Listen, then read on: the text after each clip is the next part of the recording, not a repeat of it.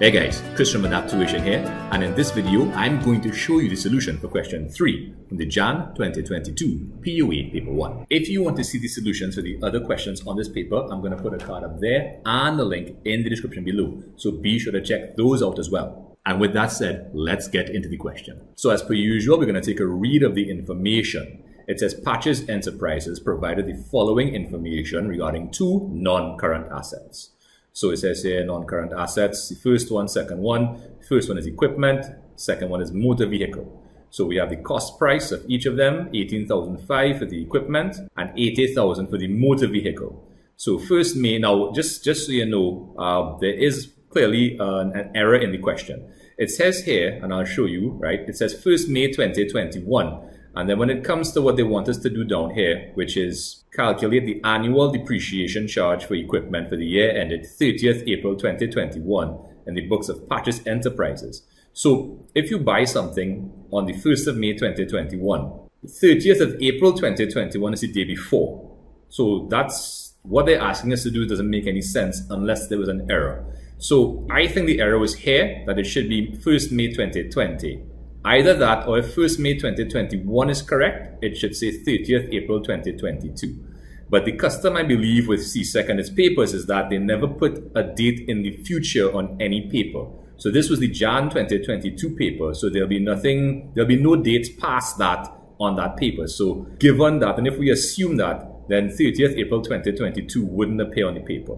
So we're going to assume once again that the error was here and it should have said 1st May 2020 and that's going to, of course, make this make a little more sense. So calculate the annual depreciation charge for equipment for the year ended 30th April 2021 in the books of Patches Enterprises. So let's take a look at the information for the equipment. So the cost price is 18,500. The purchase date is the 1st of May 2020. And the depreciation policy, what does it say? It says that equipment is to be depreciated over a four-year period using a straight line method and the expected scrap value at the end of its useful life is $500. So we have a straight line method of depreciation. So we know the formula is the cost minus the scrap value divided by the estimated useful life. That's the number of years for which we expect the asset to be of use, which is four years. So let's take a look at the working. So again, they gave you space on the paper, but because I'm working in Excel, I like to do a statement format. So as you can see, it says Patches Enterprises, calculation depreciation charge for the year ended 30th April 2021, straight line method.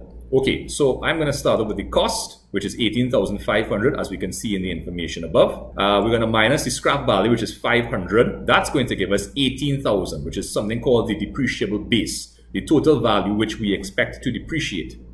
Now we're going to divide that by the estimated useful life, which is four years, and we are going to get the annual depreciation charge, which is 4,500 per year. And that is what they wanted us to do, find the annual depreciation charge for equipment, right? And of course, it doesn't matter which year, if it's for the year ended 30th April 2021 or 30th April 2022, because under the straight line method, the depreciation charge on a non-current asset is the same every year over its useful life. Okay, let's take a look at part two. All right, so it says here, use the form provided below to prepare an extract showing equipment as it will appear on the statement of financial position of Patches Enterprises as at 30th April 2021, include all appropriate headings or labels. So, Patches Enterprises, statement of financial position as at 30th. So, therefore, it's an extract from the balance sheet basically. Okay, so we know that the headings that have to go there are cost, depreciation, and net book value. We know it's also the non-current asset section and what goes there. So we'll put the information for equipment. As you can see, under cost we have 18.5. Under depreciation, or if you could fit it, accumulated depreciation or provision for depreciation, we put 4,500 because it's only been one year that for which we have had the equipment. So we could we can only charge one year's worth of depreciation on the asset. And then the NBV, of course, stands for net book value, and we get that by taking the cost and subtracting the depreciation to date. 18.5 minus 4.5 gives us 14,000. And that's it for this part. It was only worth three marks, and I think you get a mark for each of those items there. Okay, next item. So B part 1 says calculate the amount that will be recorded in the books of Patches Enterprises as the depreciation expense for motor vehicle for the year ended 30th April 2021. So what we are going to do is we're going to scroll up and take a read of the information that will facilitate that calculation. Okay, so what's the depreciation policy on the motor vehicle? It says vehicles are depreciated by 25% per annum using the reducing balance method. Ooh, so under the reducing balance method, we multiply this percentage by the net book value of the asset. How do we find net book value? We take the cost of the asset and we subtract any accumulated provision for depreciation existing for the asset. Let's take a look at that calculation, shall we? Okay, so we start off with the cost of the asset. We're going to subtract the accumulated depreciation thus far, which is 20,000. That's going to give us a net book value of 60,000. That is the value we are going to multiply by the depreciation rate, which is 25%, and that's going to give us a depreciation charge of 15,000. The next piece of the question reads, use the form provided below to prepare the provision for depreciation on motor vehicle account as it will appear in the books of Patches Enterprises for the year ended 30th April 2021. Then it says to balance off the account at year end and bring down the opening balance for the start of the next accounting period. So we're seeing our little form here, provision for depreciation, motor vehicle, date, details, dollars, and this is only four marks. Okay, so let's scroll up so we can get the information we need to populate this T account. All right, so we're seeing that there's an opening balance for the accumulated provision for depreciation of 20,000. Now, provision for depreciation is a contra asset account. What does that mean? Its function is to reduce the balance of an asset in the balance sheet. Assets have debit balances, and if the function of the contra asset is to reduce that balance, the contra asset itself has to have the opposite type of balance. And the opposite of a debit balance is a credit balance. So we're seeing the opening balance here, 20,000. Now, the depreciation we just calculated in the previous part of the question was 15,000. That's going to go on the credit side because it's going to increase the um, total amount of depreciation in the account. When we balance it off, now the total will be 35,000, which will also be the totals there as well. And it's going to be brought down on the credit side here as shown.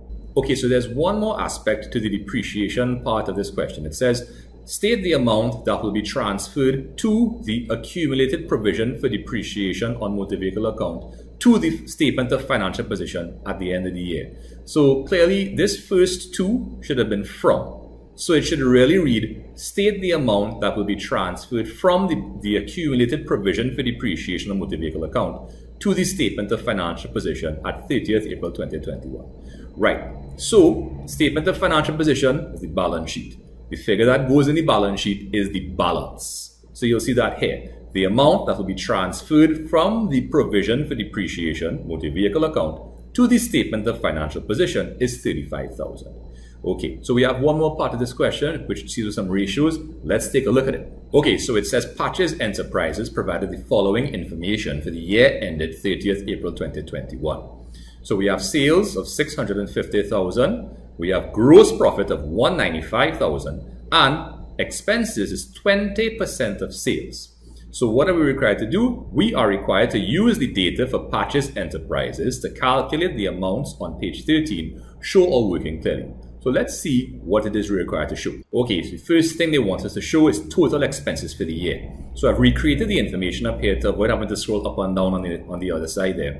It says expenses is 20% of sales. So all we have to do is find 20% of 650,000, which is $130,000. Boom.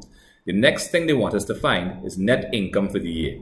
Now, net income is gross profit minus expenses.